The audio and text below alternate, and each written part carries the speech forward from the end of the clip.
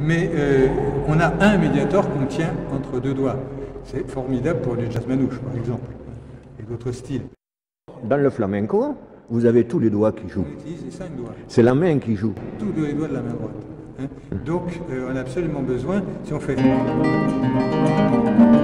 ne suis pas accordé pour ce morceau-là. Euh, je ne me rappelais plus que j'avais changé d'instrument. Mais c'est pour vous donner une idée. Ben, on fait des arpèges, il faut un doigt par corde. Sinon, c'est pas possible. Et ce que je voulais vous donner comme exemple, c'est la richesse de sonorité qu'on a rien qu'en inclinant la main droite. Alors déjà, on a pour une même note, par exemple, je vais prendre cette note à vide, euh, qu'on appelle mi et qui est un sol. Si je le prends sur la corde d'à côté, déjà un changement de son. Si je le prends sur la corde d'à côté, encore un changement de son. L'avantage d'être ici, c'est que je peux la vibrer. J'ai le vibrato comme ça, le vibrato classique, le vibrato de flamenco, ou le vibrato qu'on a sur les guitares électriques, qu'on appelle aussi le bend ou le portamento en italien. hein. Mais encore la même note. Oui, la même note? Rien qu'en changeant de corde. Maintenant, si je change la position de la main droite. Position euh, par rapport à la corde. Quand je prends la corde vers le milieu, je provoque, j'ai employé un terme technique, je provoque des harmoniques graves. C'est-à-dire que je, on fait gicler des sons dans la série de Fourier, je m'excuse du terme technique, qui sont des harmoniques graves. La deuxième, la troisième, la quatrième harmonique. Par contre, plus je me rapproche du chevalet, plus je vais faire gicler des harmoniques aiguës dans la série de Fourier. Hein, la 15e, la 18e, la 31e euh, harmonique, qu'on n'arrive pas à entendre directement, mais qui va. C'est toujours la même note, mais ces harmoniques constituantes ne sont pas les mêmes. Au niveau solfège et partition, est-ce que cette technique dont vous me parlez de la position de la main droite est indiquée sur une partition? Il peut y avoir des indications. hein, le compositeur peut dire euh, je veux un son harmonique. Il l'a noté sur sa partition. Une note euh, un, losange, hein, au lieu un carré euh, euh, de travers. Donc ça est, est instrument harmonique. Enfin, les violonistes ont la même chose. hein. Il peut y avoir des indications, corde à vide, zéro par-dessus. Mais autrement, on a des effets spéciaux. Par exemple, ici, on est sous le ponticello, sur le pont. hein, et, ou alors s- sous le tasto, sur la, la touche. Quand vous vous rapprochez du chevalet, vous le dites toujours en italien, ce sont des annotations. Et- de musique, de musique classique, c'est l'italien, la langue internationale. Avec la particularité que sur la guitare, les termes techniques spécifiques à la guitare sont en espagnol. Si c'est un mot, par exemple, euh, sur le tasto, on l'a euh, chez les violonistes. hein, le ponticello, on l'a sur les violonistes. Les arco, pizzicato, tout ça, c'est des termes qu'ont les violonistes. Mais nous, les guitaristes, on a le rasgado. Le rasgado, c'est un mot espagnol. Et là, ça existe sur aucun autre instrument. voilà. Donc, euh, on a des mots techniques à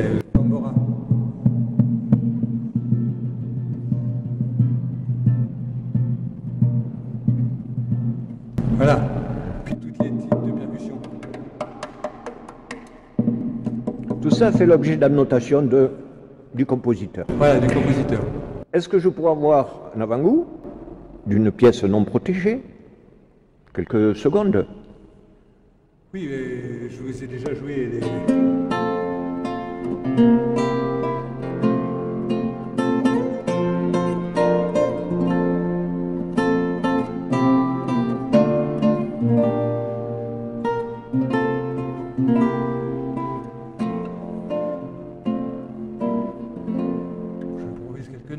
Bien sûr. Qui est assez proche du requinto, sauf qu'elle est beaucoup plus grave.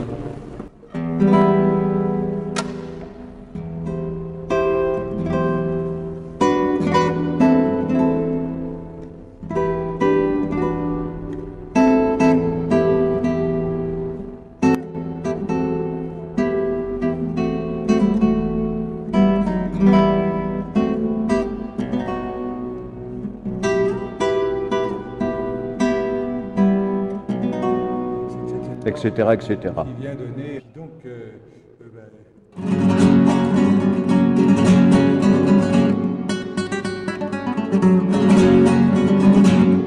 Bon, là, c'est le pur. euh, traditionnel. hein, mais je vous dis, le, le- le flamenco, il a une particularité, c'est que un, un seul accord, c'est typé à un point, c'est inimaginable.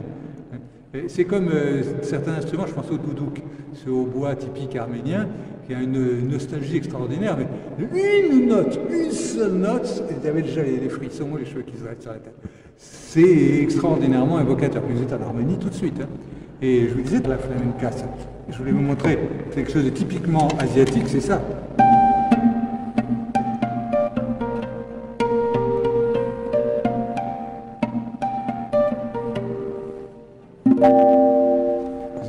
Tout de suite. Pourquoi? Parce que la gamme caractéristique euh, porte sa, sa culture. Prenons un exemple là, sur la flamenca, euh, une gamme arabo-andalouse, les gammes, euh, une gamme européenne, une gamme majeure, euh, c'est ça. Deux tons et demi, trois tons et demi, on a appris ça quand on faisait du solfège. La gamme mineure. Cette gamme-là. D'ailleurs, c'était pas bien vu par les curés dans les années euh, de, la Renaissance et de l'Inquisition, parce que ça faisait euh, mécréant. Donc, on, on- on demandait aux, aux musiciens de, de s'arranger pour la faire entendre, pas la faire entendre, la donner ça. Voilà.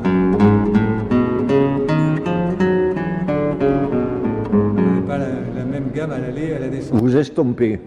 Voilà. Hein, on estompait la, la seconde augmentée, mais voilà une gamme arabo-andalouse.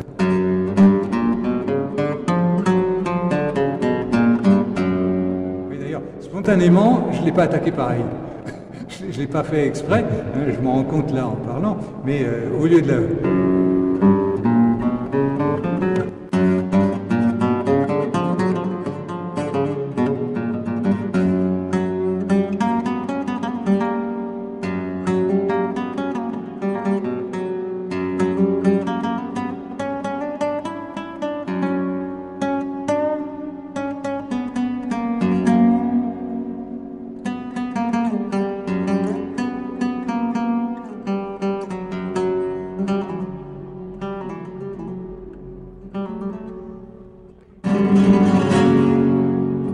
Semble-t-il, euh, le guitariste fait corps avec sa guitare. Euh, C'est une extension de nous. Est-ce que vous ressentez la même chose en disant c'est l'homme qui caresse le corps de sa guitare? Mon maître Alexandre Lagoya disait la guitare, c'est l'instrument le plus féminin qui soit. Parce que déjà, ces formes évoquent quand même le corps féminin. hein. Ensuite, on la prend contre son cœur, sur ses genoux, et de toute manière, c'est toujours elle qui aura le dernier mot. Tout à fait. Alors justement, là, c'est ma maîtresse d'esprit. Est-ce que vous chérissez, si vous voulez, votre maîtresse? C'est-à-dire que selon les instruments, euh, on a des durées de vie différentes. J'ai discuté avec le oboïste qui est venu euh, jouer ici le 18 juillet. Euh, lui, il a un instrument qui est complètement ravagé par l'humidité. Un hautbois, ça dure quelques années. Donc, ils n'ont pas le temps de s'attacher hautbois. Parce que de toute manière, au bout de quelques années, il faudra qu'ils en changent. Hein, dans une vie, ils auront euh, 8, 10, 12, euh, 15 instruments. Euh, et puis, de toute manière, après, soit on le met au mur en, en souvenir, soit euh, il va au recyclage. Quoi, mais on ne peut plus rien en faire. Alors qu'un Stradivarius, hein, c'est un instrument qui va vieillir. Et qui va vieillir des siècles. C'est-à-dire qu'il va dépasser l'âge de son propriétaire ou de son luthier. Euh, les guitares ne vont pas vieillir autant que les, les violons, parce qu'on a le tirage qui, va, qui est sur la, euh, sur la table d'harmonie. Les violonistes, ils ont euh, le cordier qui est ici, et le tirage ne tire pas sur la table d'harmonie. Nous, on a, euh, sur une guitare comme ça, on a à peu près 55 kg de tirage, et là, on atteint les 70 avec la corde supplémentaire, qui tire 24 heures sur 24, 12 mois sur 12, sur la table d'harmonie. Est-ce que vous avez... Alors, pour répondre quand même à votre question, euh, oui, on s'attache à nos instruments, évidemment. Celle-ci, elle est de 1973. C'est-à-dire que, vous voyez, ça fait 46 ans que je joue dessus. Elle vieillit bien, disons. Elle vieillit bien, mais elle est déjà passée deux fois chez le luthier. Alors, il y a des collages internes à faire. hein? Non, euh, il n'a pas bougé, lui, il a bougé, il a fallu refaire des filetages. Euh, mais elle avait besoin d'un revernissage. Et puis euh, le manche avait commencé hein, à bouger un peu. Donc à ce moment-là, ce qu'on fait, c'est qu'on enlève les barrettes et euh, on retravaille le manche pour qu'il soit à nouveau rectiligne et on remet des barrettes neuves. Alors, c'est ma- Maintenant, vous avez le palissandre, palissandre d'Orio, euh, l'épicéa des Vosges pour la table d'harmonie. Euh, L'ébène, c'est un bois qui résiste bien au, au coup, c'est-à-dire même si on lui donne sans arrêt des coups, il ne va pas euh, se creuser voilà, énormément. Par contre, il peut plier. Donc, euh, ébène très bien pour la plaque de touche, mais il ne résisterait pas au tirage. Par contre, le cèdre du Liban, qui lui risquerait de se creuser avec des coups d'ongle, euh, lui par contre, il ne bouge pas d'un poil. Donc l'association